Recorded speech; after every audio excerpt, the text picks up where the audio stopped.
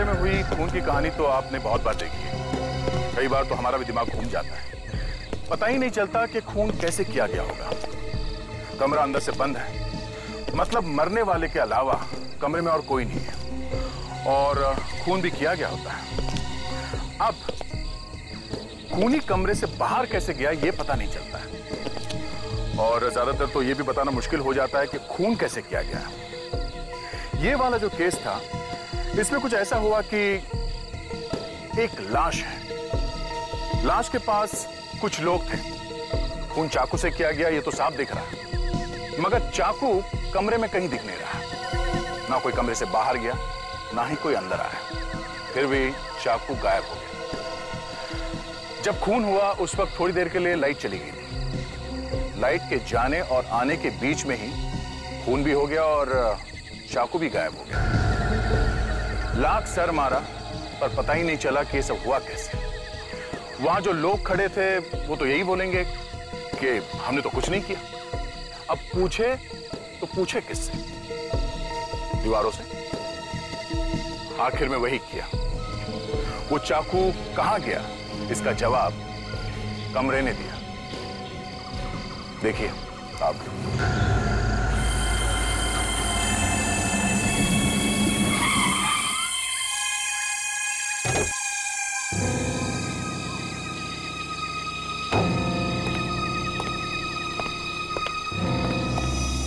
बताएगा तो पता चलेगा कि मामला क्या है।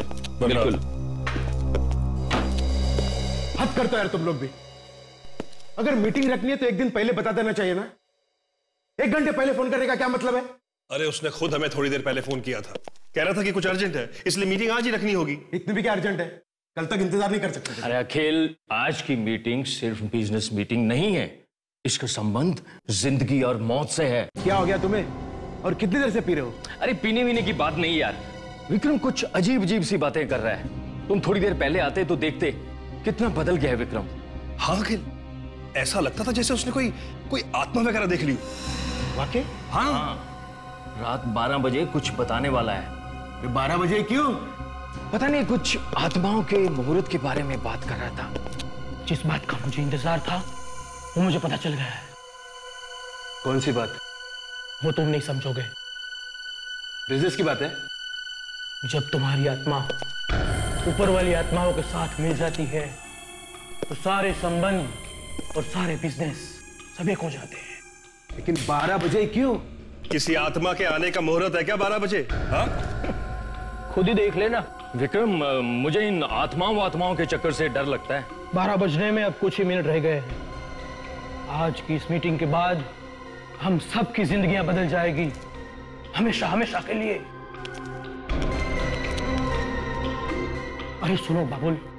देखो अगले एक घंटे तक यहाँ इस कमरे में कोई नहीं आना चाहिए। जी सर। तुम भी नहीं समझे? जी सर। और हाँ वो प्रमोद आए तो उसे ज़रूर अंदर आने देना। और तुम सब लोग बाहर रहना। जी सर। और वो ड्राइवर को खास कहना कि वो यहाँ आने की कोशिश ना करे। ठीक है तुम जाओ।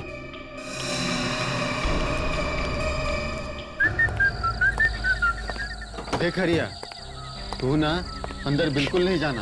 अच्छा? दारू के साथ वहाँ और भी कुछ है क्या? है ना बहुत कुछ। यार थोड़ी दारू हमारे लिए भी खिसका ले वहाँ से। मुझे ऐसी सुनसान जगह पे बहुत डर लगता है। थोड़ी दारू पेट में जाएगी ना तो कोई आत्मा वात्मा पास नहीं आएगी। तू भी ना पीने के नए नए बहाने ढूंढता रहता है। नहीं यार मुझे आत्माओं से वाकई में बहुत डर लगता है। कभी कभी अंधेरे में मुझे चीख सुनाई देती है। वो वही होती है।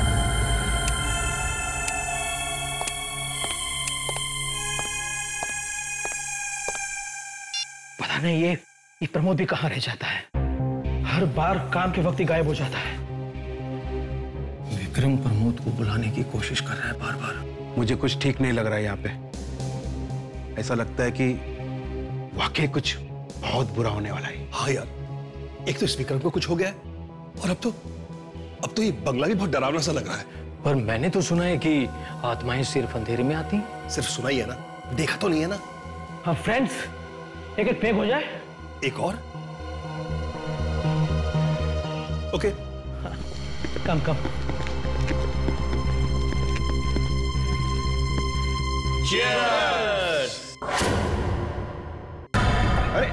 क्या हुआ? लाइट कैसे चली गई? अरे कहीं आत्मा ना आ जाए। विशाल? हाँ। विशाल तेरे पास लाइटर है क्या? लाइटर देखता हूँ। लाइट अरे बाबुल! बाबुल जरा टॉर्च लाना। क्या हुआ? ये चीख कैसी ये चीका कौन? विक्रम। विक्रम।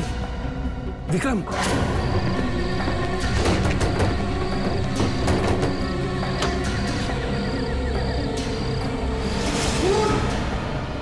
खून खून खून। गया। हमारे विक्रम साहब का खून कर दिया। सीआईडी सीआईडी को बुलाओ। ये ब्यूरो में आवाज़ कैसी? पता नहीं सर अजीब सी आवाज़ है। हम भी यही सोच रहे हैं कि ये है क्या? ब्यूरो में ऐसी आवाज़ पहले तो कभी नहीं सुनी। हाँ। सर ब्यूरो में किसी ने बॉम्ब लगा दिया होगा सर। बस यही एक बचा था। दुश्मन तो बहुत है सीआईडी के सर। किसी ने सोचा होगा उड़ा दो ब्यूरो को। नहीं नहीं नहीं नहीं नहीं नहीं, नहीं ये बॉम्ब नहीं है। ये बॉम्बा है? आवाज़ इस तरफ़ से आ रही है सर। देखो देखो जरा। सर लगता है कोई जानवर आया है ब्यूरो में। हाँ। खतरनाक लगता है। सर! हे भगवान! फ्रेडेक्स फ्रेडेक्स good evening sir good good morning sir ये टेबल के नीचे क्यों सो रहे थे? हाँ? सोया तो टेबल के ऊपर ही था। पता नहीं कब नीचे गिर गया सर। घर क्यों नहीं गए? अरे सर आपने कहा था रात भर उस बार वाले पे नज़र रखने के लिए सर। तो कुछ मिला? कुछ नहीं मिला सर। सुबह आके यहाँ सो गया। ए रुक जा।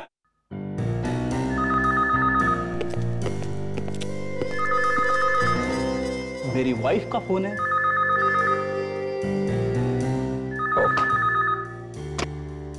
हेलो? हाँ? हाँ। हाँ?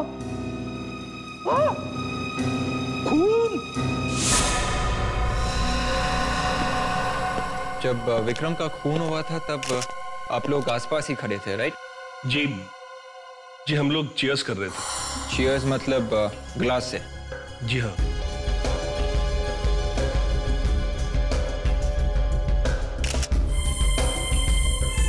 छाती में मारा है चाकू। काफ़ी बड़ा गाँव है। चाकू काफ़ी बड़ा होगा ये कहीं आसपास होना चाहिए। सर पूरा कमरा देख मारा सर। चाकू कहीं पे भी नहीं है। कमरे में मौजूद सब लोग दारू पीने की तैयारी कर रहे थे। मतलब विक्रम आपसे एक डेढ़ फीट की दूरी पे खड़ा था। जी हाँ। फिर भी आपको मालूम नहीं है कि खून किसने किया।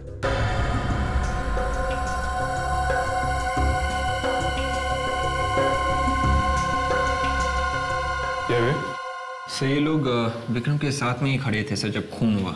मगर इन्होंने खूनी को नहीं देखा। कोनी को नहीं देखा आप लोगों ने? सर उसी वक्त दो मिनट के लिए लाइट चली गई थी। लाइट चली गई थी? जी हाँ सर। लाइट चली गई थी या किसी ने जानबूझ के ऑफ़ कर दी थी? ताकि खून किया जा सके हैं? ये क्या कह रहे हैं सर आप? विक्रम तो हमारा दोस्त था बिज़नेस पार्टनर बोला हम उसका खून क्यों करेंगे सर? सर इनको पता भी नहीं चला कब खून हो गए। चलेगा। इन्हें ब्यूरो लेके चलेंगे सब पता चलेगा। बच्चा एक बात बताइए। जब खून हुआ तो कोई बाहर से यहाँ आया था? जी नहीं सर। दरवाज़ा बंद था। और कोई अंदर से बाहर गया? नहीं सर। कमाल है। ना कोई यहाँ से बाहर गया ना कोई बाहर से अंदर आया। और कमरे के अंदर आने जाने का सिर्फ़ ये एक दरवाज़ा है। तो फिर ये खूनी गया तो गया कहाँ? अभिजीत घर के सारे खिड़कियाँ ये दरवाज़ा अंदर से बंद है। खूनी बाहर से नहीं आया। खूनी इन्हीं तीनों में से कोई एक है। तो फिर मर्डर वेपन कहाँ छुपा के रखा है इन लोगों ने?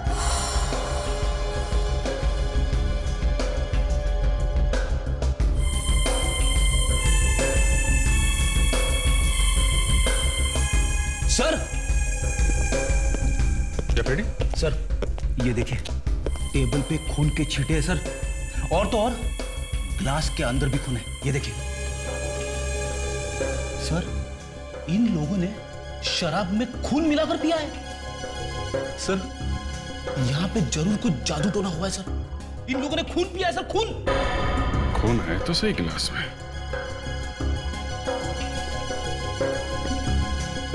क्या हुआ क्या यहाँ पे? हैं? सर वो विक्रम कुछ आत्माओं की बातें कर रहा था। मैं कह रहा था ना सर फ्रेडी गधा नहीं है। सर चाकू भी इन्हीं लोगों में से किसी ने छुपाया सर।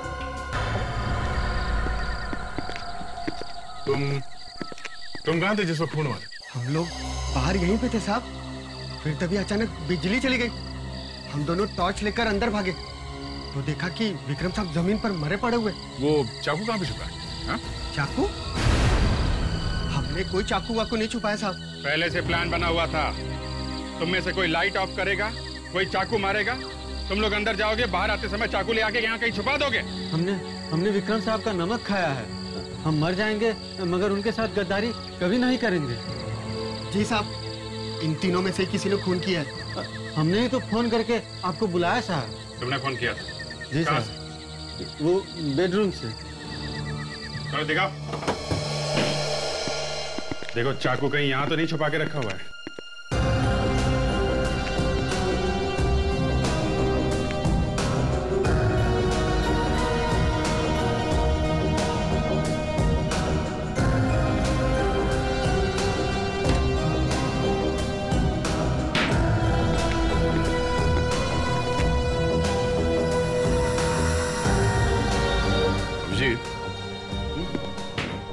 तो नहीं है पर ये चिट है इसमें लिखा हुआ है। प्रमोद को कॉल करो अर्जेंटली ये प्रमोद कौन है, हैं? विक्रम साहब का खास आदमी। रुपये पैसे का कोई भी मामला हो तो विक्रम साहब उससे पूछे बिना कोई भी कदम नहीं उठाते थे। आज की मीटिंग में वो भी आने वाला था पर आया नहीं। ओह आने वाला था मगर आया नहीं। प्रमोद का नंबर या एड्रेस है तुम्हारे पास? नहीं साहब फ़ोन नंबर एड्रेस तो नहीं एक काम करो उन तीनों से पूछो प्रमोद का नंबर। बॉस खून किसी चाकू से किया गया है। यार ये तो हमें भी मालूम है साउंड के। अरे जरा पूरी बात तो सुन लो पहले। क्या है बताओ। खून के जख्म की लंबाई ढाई इंच। अगर घाव ढाई इंच का है तो इसका मतलब है चाकू कम से कम छह इंच लंबा होना चाहिए। यही प्रॉब्लम है बॉस। आओ बताता हूँ। ये देखो। अगर ये चाकू ऊपर से ढाई इंच चौड़ा है तो जैसा तुमने कहा इस चाकू की लंबाई छह इंच होनी चाहिए। और ये चाकू ऐसा होना चाहिए ऐसा। तो क्या वाकई इसी तरह की चाकू से मारा है? नहीं यही तो प्रॉब्लम है। अगर इस तरह के चाकू से मारा गया होता तो चाकू यहाँ से लग के पीछे से निकल जाता। मतलब बॉडी के आर पार। Exactly exactly. लेकिन ऐसा हुआ नहीं। तो फिर खून हुआ कैसे? क्या चाकू शरीर के अंदर टेढ़ा घुस गया? बस ये कुछ और चक्कर है। ये चाकू सीधा है ही नहीं। ये कुछ अजीब तरीके का चाकू। लेकिन ये चाकू इतनी जल्दी कमरे से गायब कैसे हो गया? यार अभी जी तब ऐसी टेढ़ी बेढ़ी बातें मुझसे मत पूछा करो। मैं सिर्फ़ वो बता सकता हूँ जो मुझे घाव में से मिली। डॉक्टर साहब कुछ और पता चला? एक तो ये कि चाकू सीधा नहीं था टेढ़ा था और? दूसरी चीज़ है एक केमिकल। केमिकल? यानी चाकू के साथ साथ केमिकल से मारा है? अब क्या हुआ है पता नहीं है। मारा तो इसे चाकू से ही गया है लेकिन खूनी ने इस घाव में एक अजीब किस्म का केमिकल डाल दिया। है कौन सा केमिकल ये? वो अभी नहीं पता। तो डॉक्टर तारिका से पूछ लेते हैं। वो तो केमिकल की एक्सपर्ट हैं सब बता देती सुन लिया? बिल्कुल सही कह रहे हैं। अब देखिए ना सर अगर जरा सा भी शक है तो किसी जानकार आदमी आई I मीन mean, किसी जानकार लेडी से पूछ लेना चाहिए। है, है कहाँ डॉक्टर तारिका? दिखाई नहीं दे रही है? दूसरी लैब में गई है। केमिकल का पता लगाने के लिए किसी और जानकार से। अब जो भी हो वो पता लगा ही लेंगे वो जब तक आती हैं अगर आपकी परमिशन हो तो मैं यहाँ कुछ बताऊँ? क्यों नहीं? प्लीज़ थैंक यू बॉस जिस किस्म का केमिकल हमें इस जख्म में से मिला है ठीक वैसा ही केमिकल हमें उस ग्लास में से मिला है जिसमें दारू ये क्या कह रहे हैं डॉक्टर साहब? ये देखिए सर। ये नया चक्कर चला दिया इन्होंने। यार सालों के किस चीज़ का बदला ले रहे हो? अभिजीत ने डॉक्टर तारिका की तारीफ़ की इसलिए? एसीपी साहब उस ग्लास में केमिकल मैंने नहीं रखा है। वो उस ग्लास में पहले से है। एक ही किस्म का केमिकल। जख्म में भी और उस ग्लास में भी जिसमें दारू है। प्रमोद ये बताओ विक्रम मरने से पहले तुम्हें बार बार फ़ोन क्यों कर रहा था? पता नहीं सर। अरे पता नहीं कैसे? कुछ तो बात होगी। जब भी कोई आदमी मरने से पहले किसी को फ़ोन करता है तो उस आदमी का उसकी मौत के साथ कोई ना कोई कनेक्शन होता है। जी सर मैं तो केवल विक्रम साहब के बिज़नेस का हिसाब किताब देखता था। बाकी और कोई बात नहीं सर। विक्रम तुम्हारा इंतज़ार कर रहा था और इसीलिए वो तुम्हें बार बार फ़ोन कर रहा था। तुम्हें मालूम था विक्रम की जान खतरे में है फिर भी तुम वहाँ गए नहीं। वो इसलिए गया क्योंकि उसके खून में इसका भी हाथ है। इसने भी साथ दिया है। इसे मालूम था कि वहाँ पर विक्रम का खून होने वाला था। वो एक्चुअली मेरे पिताजी की तबीयत अचानक खराब हो गई थी और मुझे उन्हें डॉक्टर के पास ले जाना पड़ा। इसलिए मैं वहाँ नहीं जा पाया सर। मगर तुमने विक्रम का फ़ोन उठाया ही नहीं था। क्यों? सर मेरे मोबाइल की बैटरी ऑफ़ हो गई थी सर। मोबाइल की बैटरी ऑफ़ हो गई थी। पिताजी की तबीयत अचानक खराब हो गई थी। बहाने अच्छे बना लेते हो तुम हाँ? बहाना नहीं है सर। मैं सच्ची बात बोल रहा हूँ। जब विक्रम का खून हुआ तब उसके तीनों के तीनों पार्टनर्स उसके साथ में थे। इसका मतलब है उन तीनों में से किसी ने खून किया या फिर उन तीनों ने मिलकर किया। ये बताओ उन चारों का आपस में रिश्ता कैसे था? रिश्ता तो बहुत अच्छा था सर। पिछले बारह साल से वो पार्टनर थे और एक दूसरे को बहुत अच्छी तरह से समझते थे। विक्रम की मौत से सबसे ज़्यादा फ़ायदा किसे होने वाला था? सभी को फ़ायदा होने वाला था क्योंकि क्योंकि? वो वो वो वो वो क्या है? सर विक्रम साहब की कोई औलाद नहीं थी। और उन्होंने कोई वसीयत भी नहीं करके रखी थी। इसलिए उनकी मौत के बाद सारा का सारा पैसा उनके पार्टनर्स को ही मिलने वाला था। तो जैसे ही विक्रम की मौत हो जाती, उन तीनों के तीनों पार्टनर्स के पेट में उसका पैसा चला जाता। इसका मतलब इन तीनों ने विक्रम का मिलकर खून किया और उनका साथ दिया इसने। इस प्रमोद ने।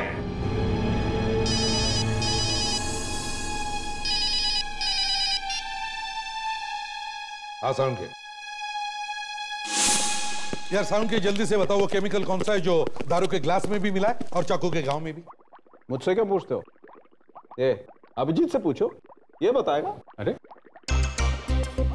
अभिजीत तुम्हें मालूम था तुमने हमें बताया तक नहीं? अरे यार बात को पेट में दबा के बैठे हो वाह। सालुंके साहब मुझे कहाँ से पता होगा हैं? ये बिना बात के अफवाह मत फैलाइए आप। यार साउंड के सीधी बात है। ये अभिजीत को कैसे पता होगा? है? पता नहीं है तो पता चल जाएगा। अब आ है ना वो डॉक्टर तारिका। कैसे? कैसे पता चल गया होगा? हैं? क्यों? अब तक तो फ़ोन भी कर लिया होगा तुमने। वाकई अभिजीत। अरे यार दया ये ये सालुंके साहब की कोई चाल है? यार साउंड के बहुत हो गए अब जल्दी से बता दो। सर मैं बताती हूँ। विक्रम के खून में जाइलोफिजी नाम का एक केमिकल मिला हुआ है। जाइलोफिजी मगर ये जाइलोफिजी उस दारू के ग्लास में और चाकू के घाव में घुसा कैसे? जाइलोफिजी ये केमिकल तो पीतल चांदी और तांबे की पॉलिश बनाने के काम में आता है। पॉलिश बनाने में? जी हाँ इस केमिकल को जब बाकी केमिकल्स के साथ मिलाते हैं तो पॉलिश ज़बरदस्त बनती है। ऐसी चमक आती है कि पूछिए मत। अच्छा एक बात बताइए। अगर गलती से किसी के पेट में ये केमिकल चला जाए तो तो क्या होगा? तो ज़्यादा कुछ नहीं होगा। मतलब मौत नहीं हो सकती। अरे नहीं सर। हमने आज तक नहीं सुना कि जाइलोफिजी पी के कोई मरा हो। तो मतलब विक्रम की मौत केमिकल से नहीं हुई है। हम्म। अभिजीत चाहे मौत केमिकल से ना हुई हो मगर केमिकल मिला तो है ना? घाव में दारू में।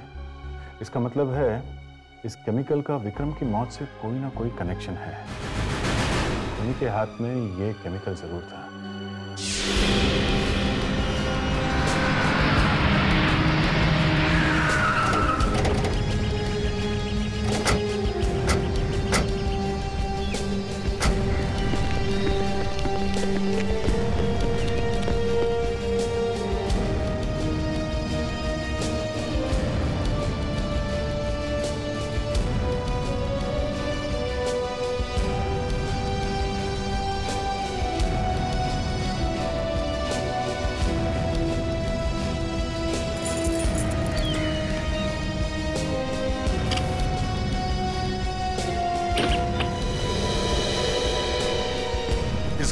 सारी कॉपर की ब्रास की चीज़ें सब उठाओ। अच्छी तरह से देखो उन चीज़ों को। वो चाकू उसी में छुपा होगा।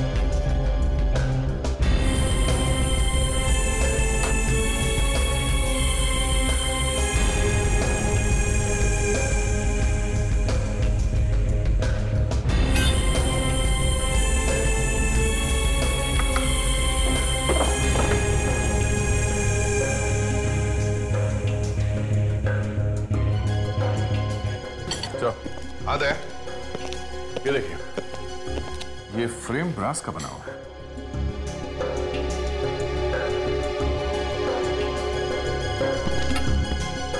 सर ये वॉल हैंगिंग में भी ब्रास का काम है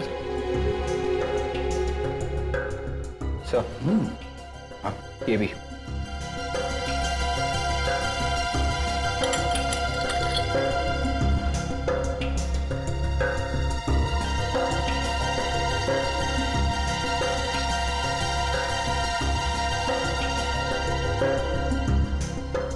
वॉल हैंगिंग ये लैंप शेड ये फ़ोटो फ्रेम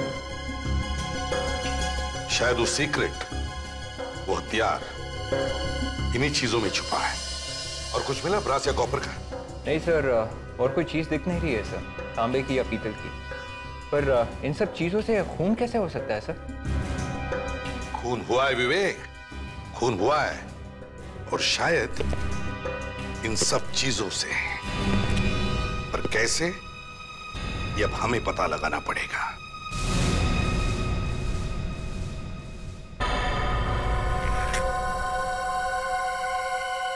चार चार लोग एक बंद कमरे में थे।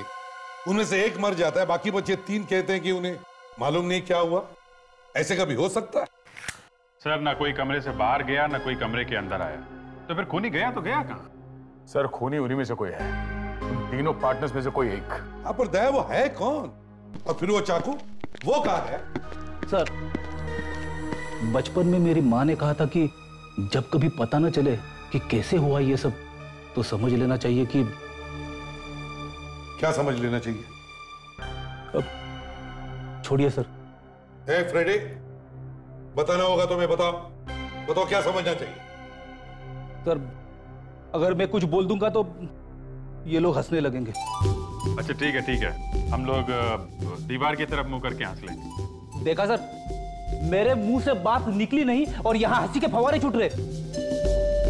कौन हंसा ये ये अ, अ, सर वो तो मुँह पे मच्छर काटा था इसलिए मेरा मुँह ऐसा हो गया। फ्रेडी छोड़ो अ, क्या कह रहे थे तुम? सर ये सारा काम वेम्पायर ने किया है। वैम्पायर हाँ सर। खून पीने वाली आत्माओं ने किया है सर।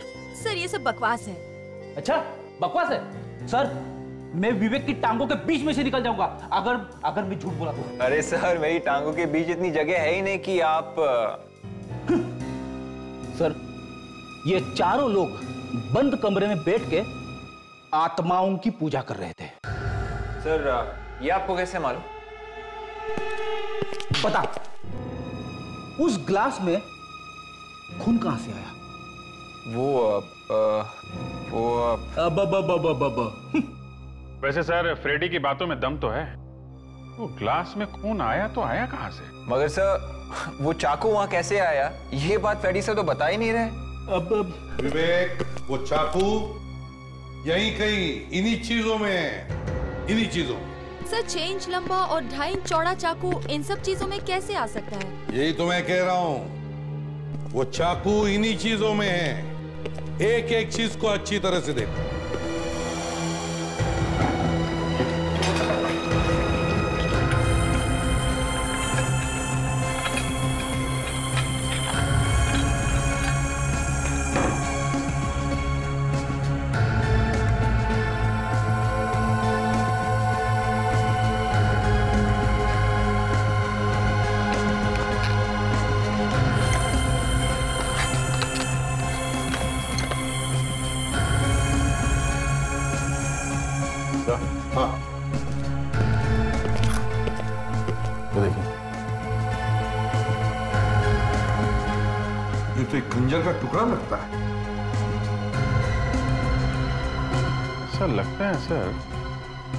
छोटी छोटी चीज़ों को मिला के कोई चाकू जैसी चीज़ बनाई गई।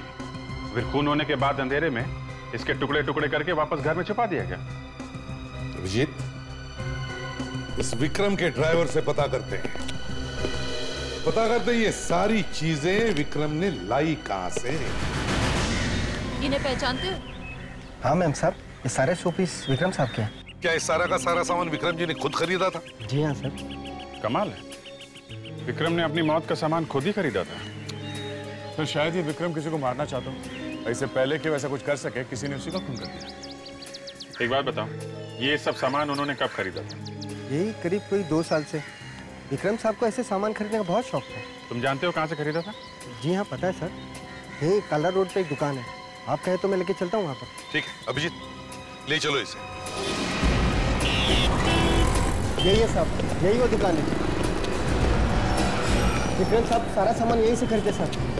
वो आदमी कहाँ है? वो है सर। जी। आ, हम लोग सीआईडी से हैं। सीआईडी सीआईडी भी पुराना सामान खरीदने लगी? नहीं नहीं। अब जरा ये देखो। ये सामान आपकी दुकान का है क्या? ये? ये मेरी दुकान का नहीं है। झूठ झूठ मत बोलो। ये सारा सामान विक्रम साहब ने यहीं से खरीदा था। मैं मेरी दुकान का सामान अच्छी तरह पहचानता हूँ। ये मेरी दुकान का नहीं है। अच्छा ये ये फ़ोटो फ्रेम देखो। क्या ये भी तुम्हारी दुकान की नहीं? है? ये लगता है मेरी दुकान का है। जरा दिखाइए। नहीं नहीं सर ये मेरी दुकान का नहीं है। देखो ये हाँ ना बंद करो। एक जवाब दो। झूठ बोलने की कोशिश मत करो समझे? सर मेरी हर एक चीज़ पर इस तरह का निशान लगा होता है। ये फ़ोटो फ्रेम में वो निशान नहीं है। मतलब ये नकली है नकली। सर ये झूठ बोल रहा है सर। विक्रम साहब ने सारा सामान यहीं से खरीदा था सर। मुझे अच्छी तरह से याद है। मैं कह रहा हूँ ना ये मेरा नहीं है। मैं झूठ क्यों बोलूँगा? मेरा नहीं है मतलब नहीं है। ये बात अलग है सर कि ये मेरे सामान जैसा है। ओहो हो। किसी ने चोरी से तुम्हारे सामान का कॉपी किया? और क्या सर? वही सब जगह चोर भरे हुए हैं। मतलब सर किसी ने विक्रम के घर से वो असली वाली फ़ोटो फ्रेम निकाली और उसकी जगह पे ठीक वैसे ही दिखने वाली ये नकली फ़ोटो फ्रेम रख दी है ना? अगर ऐसा है तो विक्रम के खून से इन चीज़ों का कोई ना कोई कनेक्शन होगा। खून हाँ एक खून हुआ है। आप जरा देखो इन सामान में कुछ गड़बड़ है क्या? सर एक बात बताऊँ किसी को बोलेंगे तो नहीं? हाँ बोलो। चूना भट्टी में मुरारी नाम का एक दुकानदार है। नकली माल बनाने में नंबर वन है नंबर वन अच्छा तो तुम्हारे सभी सामान का डुप्लीकेट वही बनाता है क्या? मुरारी लाल ही है जो मेरे सामान की सबसे ज़्यादा नकल करता है। है कहाँ इस मुरारी लाल की दुकान?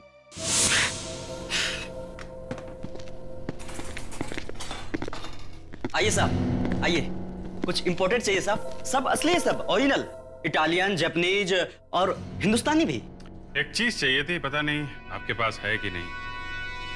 अरे साहब बोलो तो सही साहब। मुरारी लाल मुरारी लाल चाहिए मुरारी लाल तो मैं ही हूँ साहब। असली या नकली? अरे साहब असली है साहब। असली? तो फिर इसे पहचानते हो ये तुम्हारी दुकान का आइटम है ना? नहीं साहब ये मेरी दुकान का नहीं है। और ये? ये तुम्हारी दुकान का है? नहीं साहब ये भी मेरी दुकान का नहीं है। अच्छा इसके बारे में क्या कहना है? हुँ? ये भी तुम्हारी दुकान का नहीं है? हाँ? नहीं साहब ये भी नहीं है। है या नहीं? हाँ? आप लोग हो कौन सर? जी हम लोग सीआईडी से हैं। सच सच बताएँगे तो बच जाएँगे मुरारी लाल जी। म, म, मैं क्यों झूठ बोलूँगा साहब? मैं अभी थोड़ी देर में आता हूँ। टॉयलेट लगी है ज़ोर से। बैठ बैठ बैठ कर समझा? सच बोला शुरू कर चल। बता दो साहब मैं ही वो वो आदमी हूँ। ये सब नकली आइटम मैं ही बनाता हूँ। और इसका धंधा भी मैं ही करता हूँ साहब। तो ये सारी चीज़ें तुमने ही बनाई है हाँ? हाँ साहब मैंने ही बेची। से बेचा था तुमने ये सारा सामान? पता नहीं मैम कोई आदमी था और वो इन सभी आइटम के फ़ोटो दिखाए और बोले ठीक डुप्लीकेट ऐसे ही बनाना। और बनाने के लिए मुझे पचास हज़ार रुपए भी दिए। पचास हज़ार? उस आदमी को दोबारा देखोगे तो पहचान लोगे? हाँ, हाँ साहब मैं पहचान लूँगा पहचान लूँगा मैं रेडी। इसे देखो। नहीं साहब ये नहीं ये? नहीं साहब ये भी नहीं है। ये था? हाँ साहब यही यही है वो आदमी। तुम्हें पूरा यकीन है यही वो आदमी हाँ साहब इसने ही मुझे पैसे दिए थे यही है वो आदमी।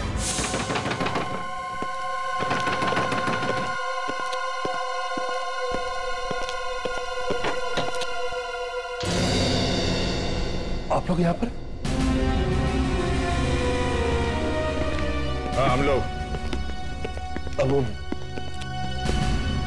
विक्रम के खूनी का कुछ पता चला क्या? हाँ कुछ पता तो चला है। अच्छा।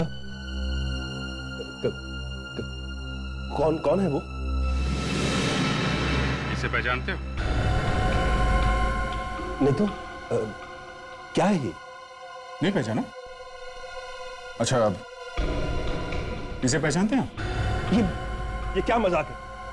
आखिर आप लोग मुझे दिखाना क्या चाहते हैं? मेरी तो कुछ समझ में ही नहीं आ रहा। समझ में नहीं आ रहा। ब्यूरो चलो। वहाँ अच्छे अच्छों की समझ वापस आ जाती है। चलो हाथ नहीं लगाना। हाथ नहीं लगाना।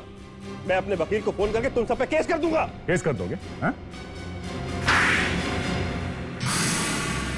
हम चार बिज़नेस पार्टनर्स थे। बिज़नेस में से मैंने पंद्रह करोड़ रुपए का घपला कर दिया। चुरा लिए मैंने पंद्रह करोड़ रुपए। और उसके बाद? इस चोरी के बारे में किसी तरह विक्रम को पता चल गया और उसने हम चारों पार्टनर्स को अपने बंगले पे बुलाया।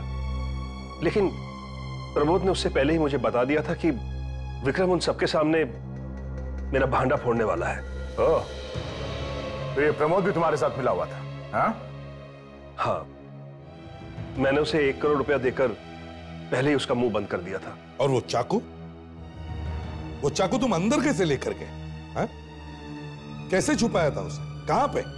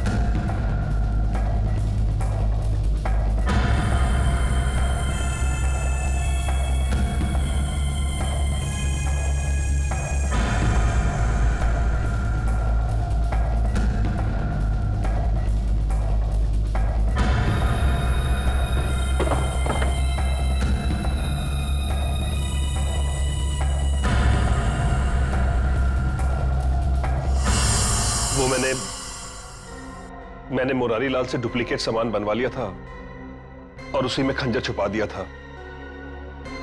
चार टुकड़े करके।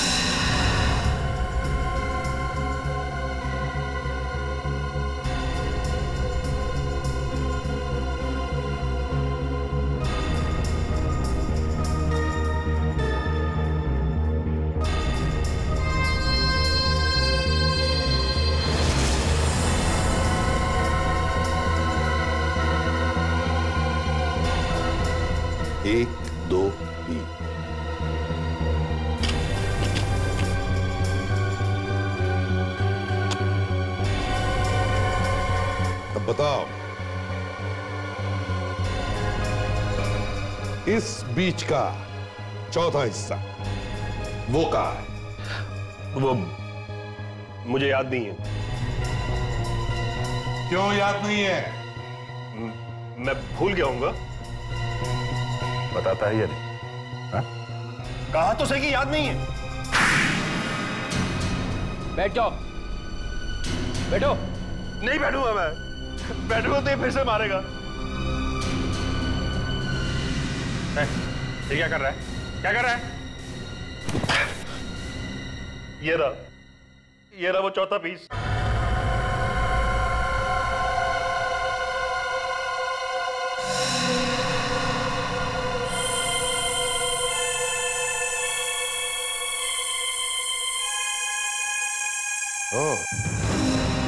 तो विक्रम का खून करते ही ये चारों हिस्से अपनी अपनी जगह छुपा दिए हैं? इतना तेज दिमाग अगर किसी अच्छे काम में लगाते तो तुम्हारा ही फ़ायदा होता। अब या तो फांसी होगी या फिर ज़िंदगी भर जेल। और उस फांसी के रस्सी के भी चार टुकड़े कर देना। और बाद में छुपा भी देना है? For more updates, subscribe to our channel, click the show links and enjoy watching the videos.